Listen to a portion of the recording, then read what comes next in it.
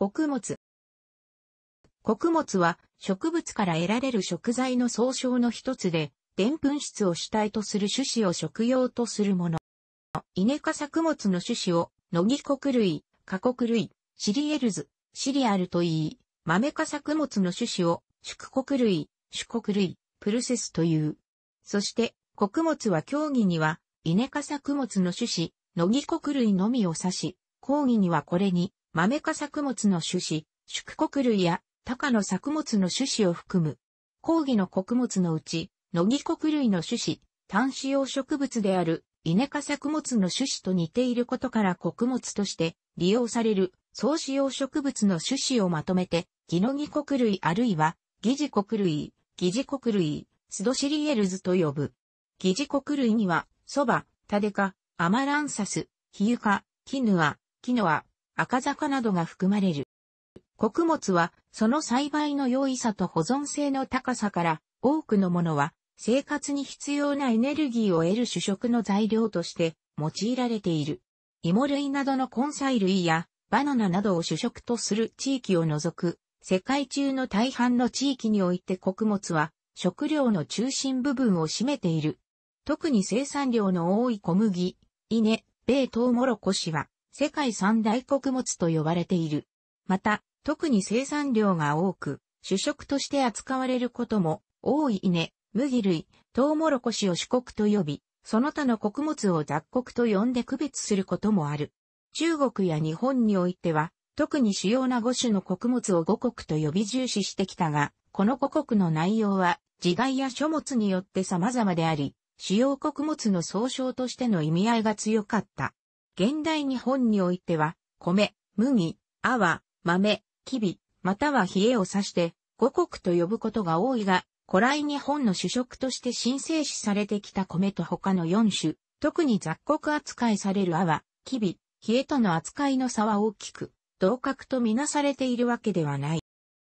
穀物は植物の種子である。種子は植物の生存戦略の上で外界の環境変化に強く、こと乾燥状態に対する抵抗力を持っている。また、その多くでは硬い殻に覆われており、昆虫など他の動物には消費しにくい性質を持つ。こういった性質は人間にとっても必要な時まで保存し、好きな時に加工して食べる、ひいては大量に栽培する農業を行う上で便利な性質であり、大規模に栽培することで大量に得やすく、また貯蔵のみならず輸送の上でも便利なことから、穀物栽培の開始は人口の集中をもたらした。こうして都市が誕生し、周辺の農地でさらに大規模な穀物栽培を行って周囲を穀倉地帯とすることで都市部の生活者が必要とする食料を賄い、それはさらに社会の分業による高度化を可能にした。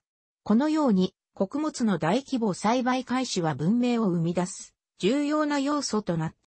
た。穀物は炭水化物のみならず、タンパク質も含んでいる。穀物のアミノ酸のバランスは理想的ではないが、多くの国での伝統的な組み合わせで欠けたアミノ酸を補い合い良好なタンパク質の品質取り、例えばアジア地域における米と豆、中近東における小麦と豆、アメリカにおけるトウモロコシと豆である。また脂肪も含まれており、現代では、米、トウモロコシなどの油は産業上重要でる。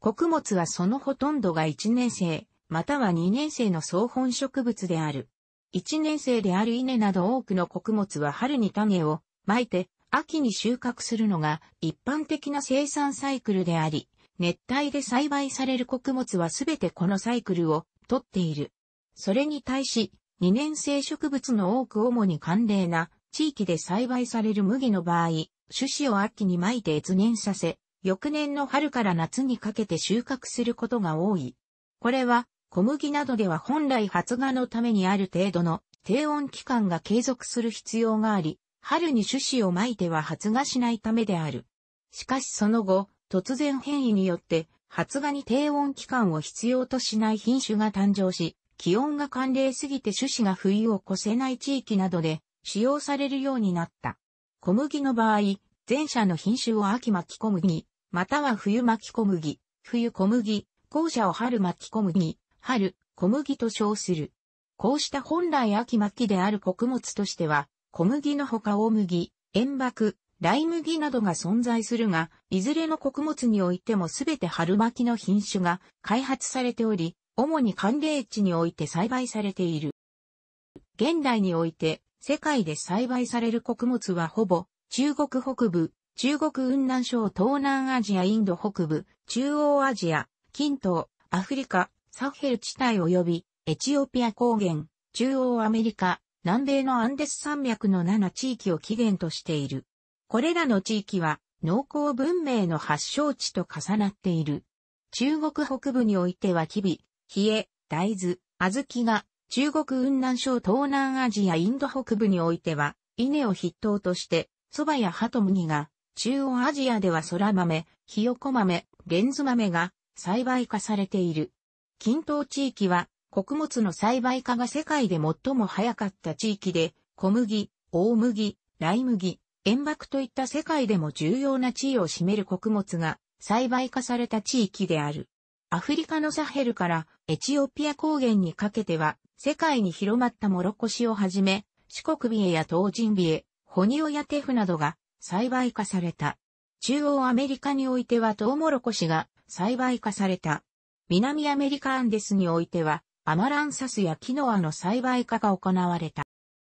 栽培化される前は穀物の多くは箸種のために熟すると種子が穂から脱落する性質を持っていた。人類が野生の穀物を利用し始めた際には逆に、それを利用し、穂の下に容器を置いて穂をゆすり身を振るい落としたり、種子がまだ固定している未熟なうちに刈り取るなどの手段をとっていた。しかしこうした方法には限界があり、やがて人類は穂が熟しても種子の脱落しない個体を選抜して栽培するようになり、穀物は非脱落性を獲得していった。この他にも、過食部分の肥大化など、選抜によって、より利用しやすい形へと、植物自体の性質が変化していった。野生の穀物の粒は小さく、収穫しにくく、さらに加工しなければ消化もしにくいため、広く穀物を利用するようになるには、石器の登場が必要であった。石を原料とした器は、旧石器時代のうち、4万年から1万2000年ほど前の間に出現したが、定期的な穀物の収穫は1万2000年前のナトゥフ文化に見られる。ナトゥフ文化では野生の小麦、大麦、ライ麦を収穫し、ヤンガードリアスキに畑を作り穀物を蔵に保管するようになると、穀物を守るようにして、野生の猫もそこに集まるネズミを狙った。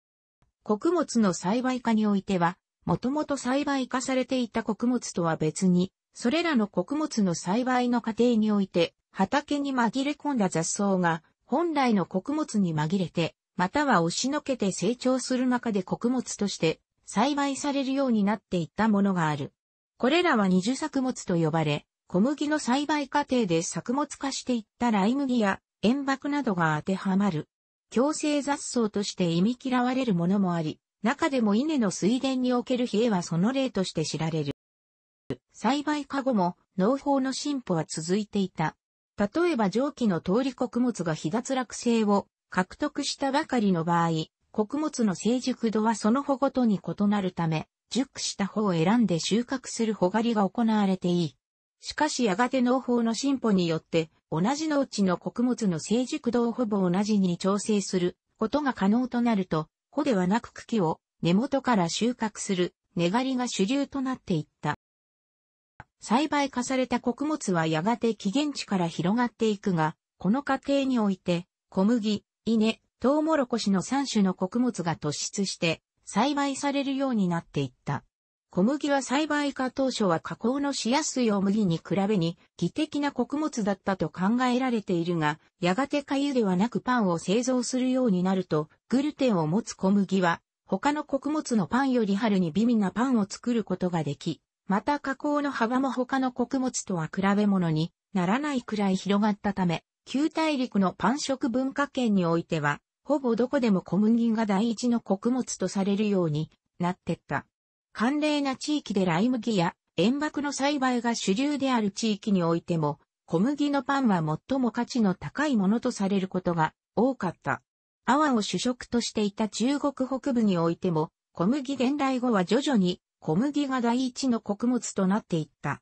小麦はやや乾燥した地帯で主国となったが、これに対し、温暖で降雨の多い地域においては、稲が圧倒的に多く栽培されるようになっていった。稲の伝来した地域においてはそれまで、タロイモやバナナなどといった根菜の栽培が主力だっが、稲伝来後は、こうした旧来の主食作物を押しのける形で、急速に稲の普及が進んだ。稲は旧来の主食作物に比べて収量が高く、調理が容易な上食務に優れていたためである。こうした状況は、稲と共に、穀物農耕の伝わった日本においても顕著であり、稲栽培の北限に近いにもかかわらず稲の栽培は非常に重視された。稲と小麦は旧大陸の二大穀物であるが、これに対し新大陸においてはトウモロコシが唯一の主国となっていた。特にアステカ文明やマヤ文明においてはトウモロコシが大量に生産され、巨大な文明を築き上げる基盤となった。南アメリカのインカ帝国においてはジャガイモが食料作物の中心であったが、トウモロコシは、チチャという醸造酒を作るための原料として大量に栽培されいた。1492年のコロンブスの新大陸到達後、いわゆるコロンブス交換によって、これらの穀物は新丘陵大陸に広がるようになり、北アメリカ大陸内陸部が広大な小麦、生産地域となり、また、アフリカ大陸の半乾燥地域において、モロコシに代わり、トウモロコシが多く栽培されるようになるなど、栽培地域に大きな変遷が起きた。穀物は多くの国家において食料生産の根幹であり、そのため栽培化以降も各地で品種改良の努力が続けられてきた。19世紀以降には農法の改善によって農業革命が起き、またこの頃から科学的な品種改良の理論が確立して各地で近代的な育種が行われるようになり、穀物の収量は激増した。特に20世紀後半に入ると、肥料の多様に耐えられる穀物品種の開発などよっていわゆる緑の革命が起き、穀物の単収は激増して、世界人口の急増を支えることに成功した。工業の革命の前に小麦粉など粉にするには、石臼が使われ、選別処理されなければ、襖、表皮や胚芽を徹底的に除去することは不可能であった。19世紀後半には、そうした処理が自動化され高度に生成された穀物が広く消費されるようになった。工業の発達は穀物の生成技術を向上させ、食物繊維、ビタミンやミネラルを損失させることで、摂取量を減少させており、健康に影響を及ぼしていることが考えられる。1970年代後半には、クロマトグラフィー加糖濃縮技術の出現で異性加糖、高加糖、コーンシロップ、HFCS の大量生産を可能とした。穀物の最も重要な用途は、そのまま、あるいは一旦粉などに加工してから食用とすることで、ある。食用とされる場合、主にエネルギー源となる炭水化物を供給するために、主食として大量に費やされることが多かった。その後、近代化が進むにつれ食生活が多様化し、炭水化物の重要性が低下するのに伴って、穀物の食卓に占める割合も低下していったが、現代においても、最も基本的かつ重要な食料であることに変わりはなく、芋類などで炭水化物を代わりに摂取できる場合を除けば、穀物及び穀物加工物の存在しない食事は非常に珍しいもである。主食用としての用途が特に大きな割合を占める穀物として米と小麦が挙げられる。ただ、穀物はその性質から乾燥状態からある程度は加工しないと食料としては利用しにくい側面もある。このため、穀物を使った料理では、様々な様式が発達し、以下に述べる様々な種類の穀物には、それぞれの地域によっても多種多様な食べ方も見出されてきた。近年では、雑穀の栄養価が四国に対しやや高いことから、健康食品として注目されるようにな、様々な雑穀商品が開発されている。ただし雑穀も炭水化物を主成分とすることには変わりはない。ほとんどの穀物は脱穀をして外皮を取り除かないと食べることができない。脱穀をしても可否、主皮、肺、肺乳表層部といった部分は食味が劣るため大抵は取り除かれる。これを精白という。精白された穀物は主にそのまま黒粒を食べる流食タイプの穀物と主に引いて粉にしてから成形して食する粉食タイプのものに大きく分かれる。稲は流食タイプであり、トウモロコシや小麦は粉飾タイプに属する。特に後者のタイプにおいては製粉は企業が行うことが多く、多くの製粉企業が存在する。なお、製白によって取り除かれた部分も食べることは可能であり、しかも製白後の排乳部分に比べて、ビタミンやミネラル、食物繊維が多量に含まれているため、この部分を含めた穀物、いわゆる全粒穀物も製造され、健康に良いとして玄米やオートミールなどのこうした穀物製品を消費する人々も存在する。ただし、取り除かれた部分、ぬかやふすまと呼ばれるを単体で食べることは、ほぼなく、こうしたぬかは飼料など様々な形で、直接の食用以外に使用されることが多い。粉飾タイプの穀物を粉のまま食べることはほとんどなく、何らかの形で粉をまとめ成形して食べることになる。ほとんどは、まず水を加えて練り上げ、必要に応じ塩などを混ぜて生地を作る。この生地をそのまま、あるいは発酵させて火を通したものがパンであり、粉飾タイプの穀物を食べる際に最も一般的な食べ方である。パンは小麦から作るものが最も一般的であるが、トウモロコシやライ麦などから作られるパンも根強い人気がある。また、この生地を細長く切って成形したものを麺と呼び、これも世界中で広く食される。麺もやはり小麦から作るものが最も一般的であるが、小麦のできない東南アジアにおいては、麺は米から作られるものが多い。また、日本では蕎麦を麺にして食べるが、蕎麦単体の場合麺状にした場合ちぎれやすくなるため、つなぎとして小麦を使用することも多い。ただし麺は作るのに手間がかかるため、近代において製麺機が実用化されるまでは、どの文化圏においてもかなりのご馳走とされていた。こうした伝統的な調理法のほか、19世紀後半に穀物をローラーで圧搾しフレーク状にする技術が開発されたため、これ以後穀物を加熱加工して長期保存に適するようにした、いわゆるシリアル食品が開発され、朝食を中心に広く利用されている。また、多めの水で穀物を煮た粥も一般的な穀物調理法の一つである。粥は調理が簡単であり、穀物調理法の中でも最も古いものの一つである。また、粥はそのまま煮るだけなので流食タイプ向きの調理法であるが、アフリカのうがりのように一度こにしたものを粥にして食することもある。この場合、水分が多ければ普通の粥となるが、水分が少なければ、状というよりペースト状の固体となる。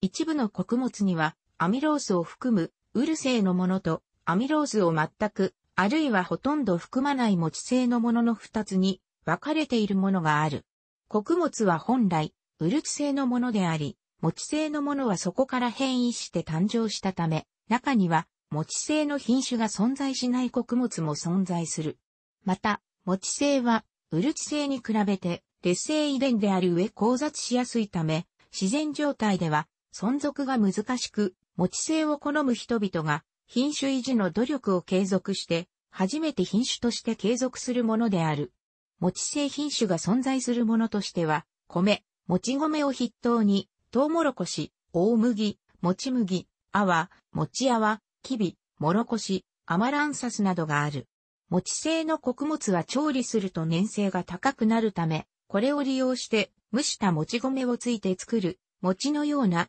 様々な食品が生み出された。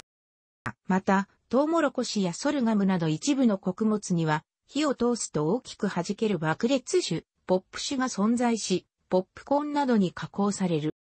穀物はそのまま食料として用いるほか、様々な食品に加工されても使用される。主食用以外の穀物用途で最も重要なものは、穀物を発酵させて醸造し、酒を作ることである。穀物は、果実と並び醸造酒の原料として最も広く用いられるものであり、大麦を原料とするビールや米を原料とする日本酒などをはじめ、様々な種類の酒が各民族によって作られてきた。穀物の中で醸造用としての用途が特に大きな割合を占める穀物としては、ビールの原料である大麦が挙げられる。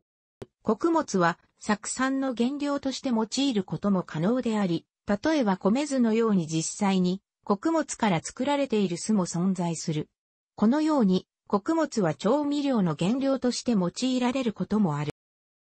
穀物は飼料としても古くから盛んに使用されてきた。穀物は飼料としては牧草などの荒飼料と対比して濃厚飼料と呼ばれ、栄養価が高く近代的な畜産には不可欠なものである。飼料用として最も重要な穀物はトウモロコシである。トウモロコシは中南米やアフリカにおいては主食としても使用されるものの、主な用途は消費の64%を占める飼料用である。このほか、かつては馬の飼料として塩爆が非常に重要な飼料用作物であったが、第一次世界大戦後に軍用や輸送用の馬の需要が激減し、これに伴って飼料作物としての塩爆の樹も激減して、栽培も少なくなった。ただし、現代においても馬の飼育においては、塩爆は最も重要な飼料の一つである。このほか、モロコシもアフリカや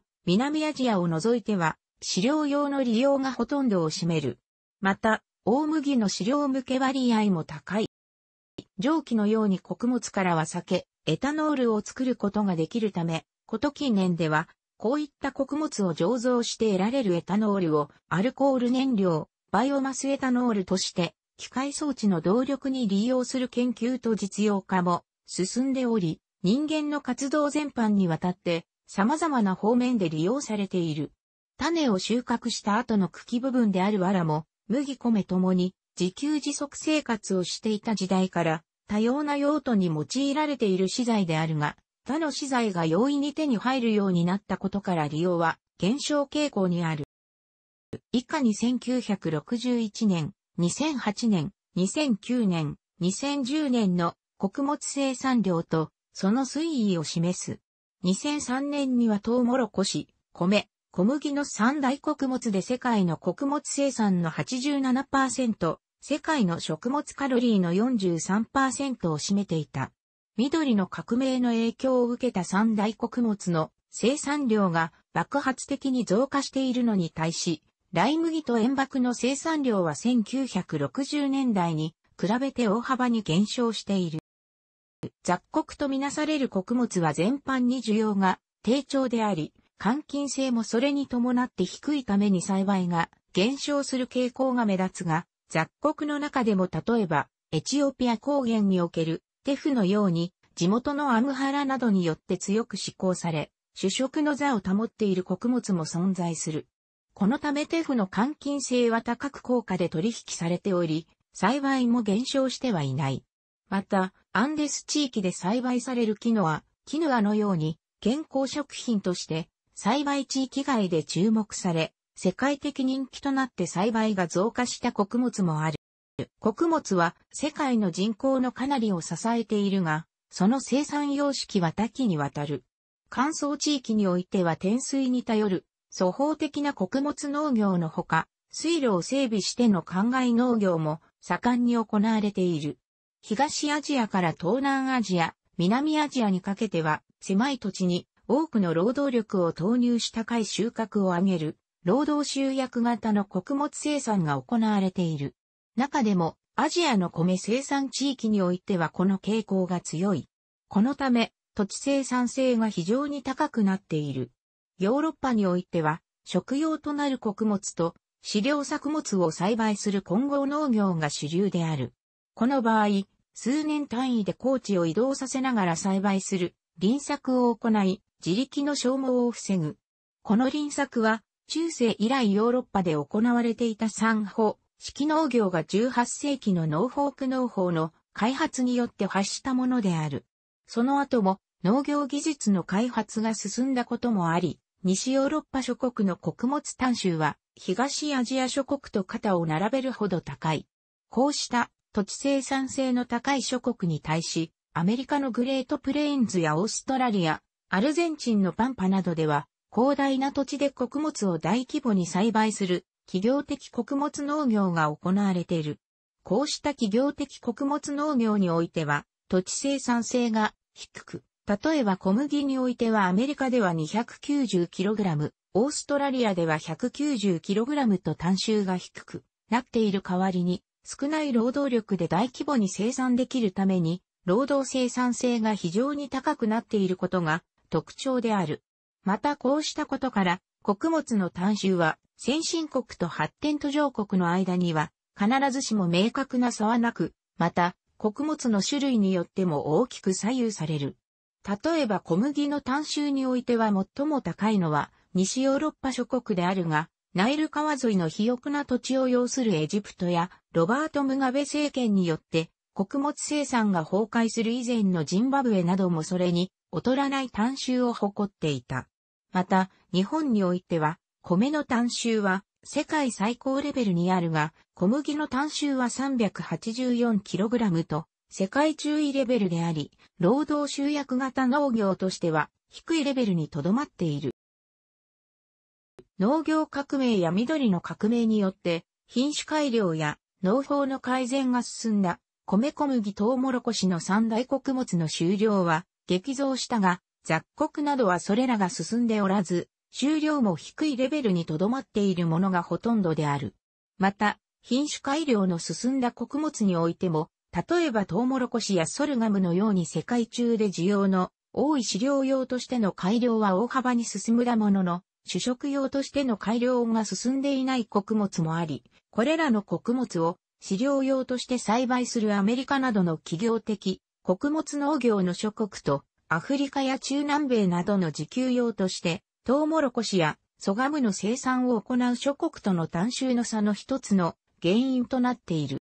穀物は人類社会において多くの人類が毎日必ず食するものであり、古くから重要な交易品の一つだった。穀物交易が特に重きをなしていた交易圏としてバルト海があり、ハンザ同盟やその後のオランダの交易において、バルト海の穀物交易は重要な商品の一つとなっており、またこの穀物輸出、主にライ麦の中心であったポーランド王国の黄金時代を現出させる隅的な要因となった。